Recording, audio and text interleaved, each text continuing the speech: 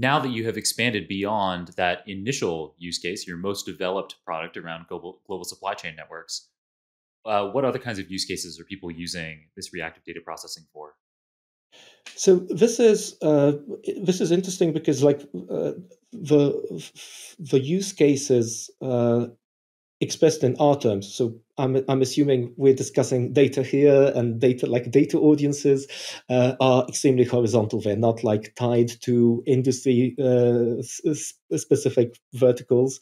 Uh, so so many of many of us change jobs, you know, between different companies, like going from from healthcare to uh, to let's say whatever transportation or manufacturing.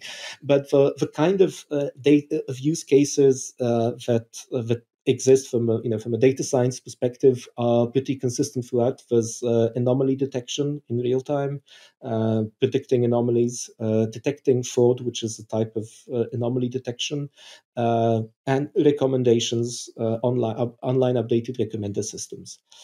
some some further ones which do appear in some cases are around forecasting and time series forecasting plus plus let's say some some some are further down the stream but um, in, in some sense it's it's also a question of the most immediate value. Uh, for for most immediate the most immediate pain point is really uh, the, the one where you need to act quickly and uh, the time horizon uh, related to anomaly detection to alerting is just much much shorter uh, than the time horizon uh, related to uh, updating forecast models typically right so i can imagine financial applications for example where you're detecting fraud would be yeah. a really great use case. Yeah, financial applications are a nice one. Uh, it's also interesting that you have several horizons in the financial application. Let's say you're doing real time uh, transaction processing, be it more on the major card processing uh, actor side or on the DeFi side. Either way, you have a window of opportunity of two to three seconds to block certain types of transactions, those where the user is still not getting impatient, and then a post um, processing like window where you can still undo some transactions or uh, try to fix things, but uh, things get worse in a horizon of seconds to minutes.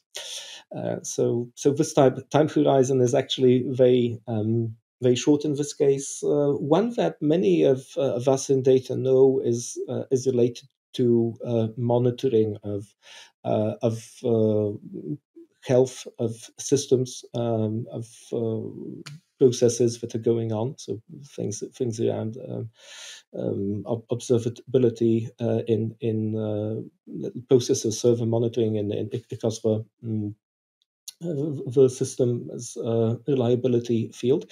This is an interesting use case, which uh, which is very uh, special, but it also gives, I think, uh, an idea of the kind of uh, alerting that we are looking at. If there's a human operator involved, you want to react within uh, your SLA time window, which will typically be something like 15 minutes. This is the, the number that comes up most often, given given uh, guidelines of major companies. Uh, so you have like 15 minutes to react, and the kind of uh, data that you have is how many minutes of this 15 minute window that you as a human have to react are eaten up uh, by the system being slow to give you the information. If it's more than five minutes, you're really, really angry. But maybe you could go from five minutes to three minutes to 30 seconds. Sometimes you increase the value there and you can actually you know, do way, way better if you if you get this alert faster. Cool.